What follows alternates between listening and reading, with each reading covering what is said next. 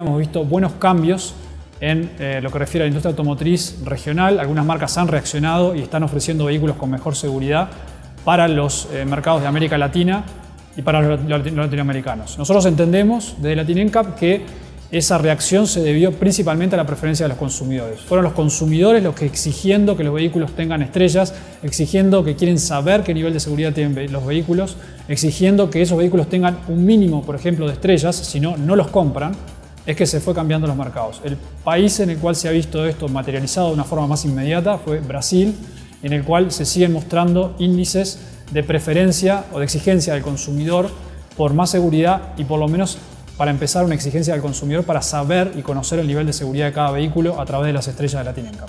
Los resultados de Latinencap, los resultados de las mejoras, se deben pura y exclusivamente a el poder del consumidor, no solo como organización, sino al poder que tenemos los consumidores en cambiar los mercados. Nosotros, desde el lado de nuestro trabajo, estamos informando a ustedes para que ustedes tengan la información necesaria, la información adecuada para hacer una buena elección de un vehículo seguro. No piense solo en usted, piense en su familia, que son los que después tienen que o bien protegerse con su vehículo o hacerse cargo de si a usted le pasa algún tipo de accidente.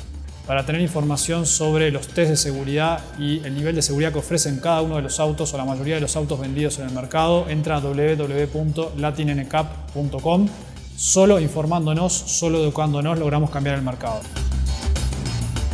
Basta de vender autos con baja seguridad que no se venden en otros países.